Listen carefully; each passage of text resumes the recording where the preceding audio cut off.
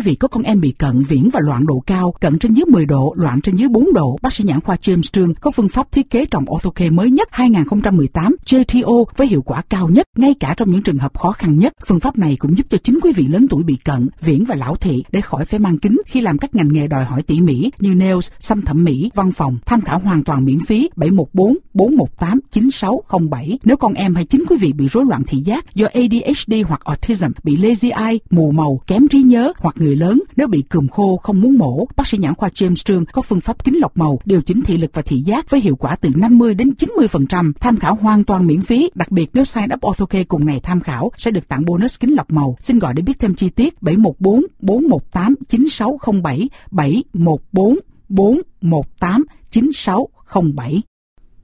Bác sĩ nhãn khoa James Trương chính thức là hội viên cao cấp nhất fellowship và giám khảo các cuộc thi fellowship của Hiệp hội Orthocare Hoa Kỳ và quốc tế. Bác sĩ nhãn khoa James Trương cũng có 6 bằng cấp thiết kế trong Orthocare nhằm đạt kết quả cao nhất về Orthocare. Hội viên của nhiều hiệp hội Vision Therapy, tức là điều chỉnh thị lực và thị giác gồm COVD, hiệu chỉnh mắt yếu, lazy eye và mắt lé. Hội viên CSO, tức là Color Vision Therapy, dùng kính lọc màu hỗ trợ trong việc điều chỉnh các chứng bệnh có liên quan về mắt. Hội viên của Nora nhằm phục hồi các rối loạn chức năng thị giác sau chiến tranh, tức là PTSD, chấn thương đầu hoặc stroke. Hội viên BOAF, Behavior Optometry, nhằm hỗ trợ điều chỉnh thị lực cho các trường hợp bị rối loạn thị giác do ADHD, autism.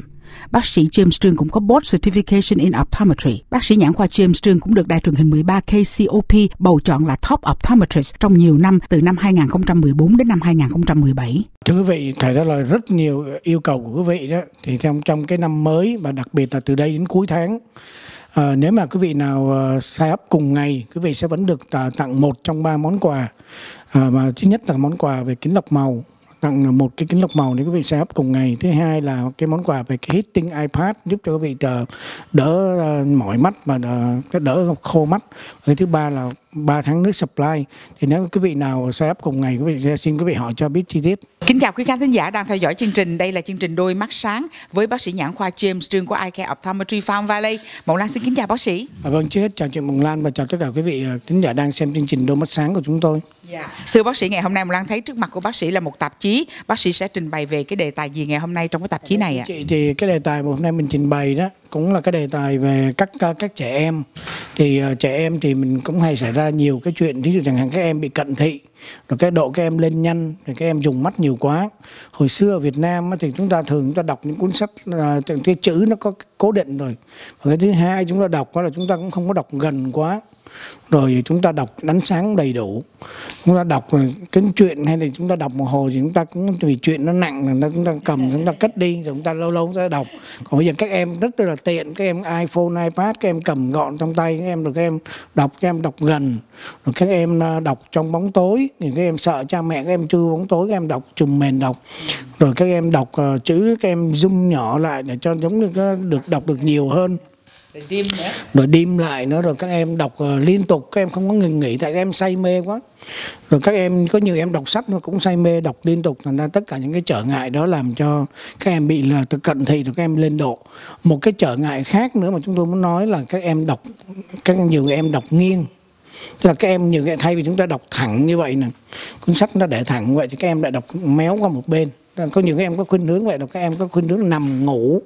Hay là trước khi ngủ các em cầm các em nằm các em đọc nghiêng như vậy nữa đọc à, ngồi, nằm trên giường rồi cái để cái gì cũng nghiêng hết đó thì tất cả những cái đó nó gây ra một cái ảnh hưởng là cái con mắt chúng ta nó không đều nó nhìn không đều.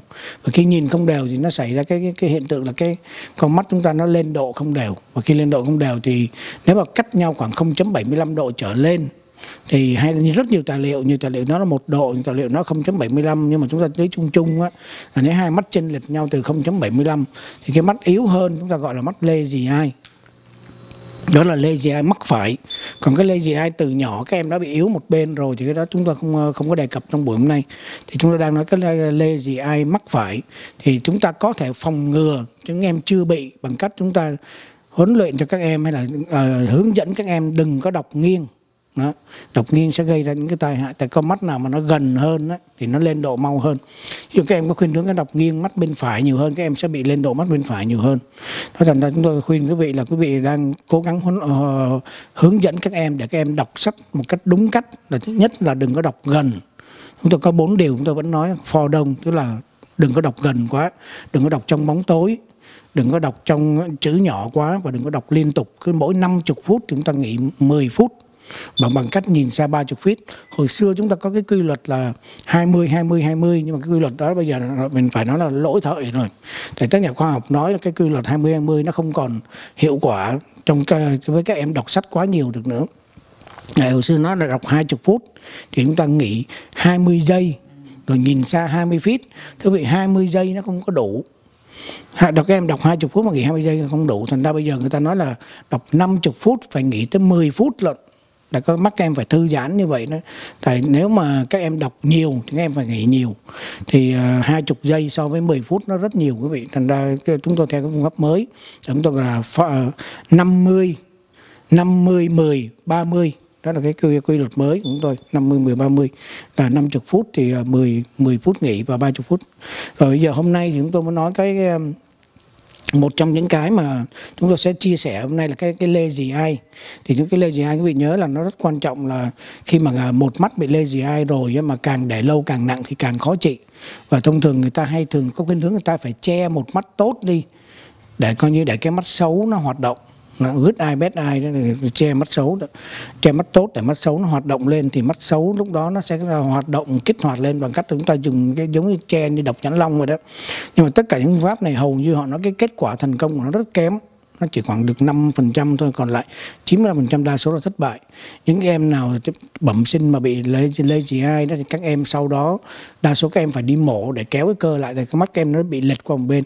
Thì chúng tôi có trường hợp là các em à, bị bị gì ai sau đó các em tới đây làm cái chương trình kính lọc màu của chúng tôi thì kết quả nói chung là sau đó là rất tốt. Tại vì uh, các em cái mắt các em kéo thẳng lại chúng tôi có những cái hình chụp before and after để cho các vị biết là và sau bao nhiêu tháng thì các em đã uh, trở lại gần như bình thường cái mắt các em nó kéo thẳng lại. Thì quý vị nhớ là cái gì cũng tùy theo cái cơ thể của mỗi em. Ví dụ mỗi em này có thể đáp ứng nhanh À, hai ba tháng. Em khác có thể cả một năm trời. Nên là quý vị đừng đừng expect là ủa sao con tôi vậy con người kia vậy? Cái đó không có giống như auto kê cũng vậy. Không, không có ai giống ai có cháu thì đem một đêm thấy rõ liền. Có một cháu thì có nhiều cháu phải hai ba tuần hay là một hai tuần mới rõ được. Có nhiều cháu thì coi như là nhiều các cháu học hành các cháu ngủ không đủ. Tất cả những nhiều triệu chứng ờ, rất nhiều. Thì hôm nay trong cái tin tức á, thì chúng tôi muốn nói với cái có đề tài về kiểm soát cận thị và kiểm soát lazy eye. Thì bây giờ chúng tôi có những cái thiết bị mới nhất. Trong 2019 này họ có những thiết bị mới nhất để họ dùng kỹ thuật ultrasound tức là kỹ thuật siêu âm để họ siêu âm hồi xưa khác siêu âm bây giờ khác. Siêu âm bây giờ họ và chúng tôi có thể dùng những cái tablet để chúng tôi có thể kiểm soát được cái siêu âm đó. Và siêu âm để đo đạt cái con kích thước của con mắt của mình.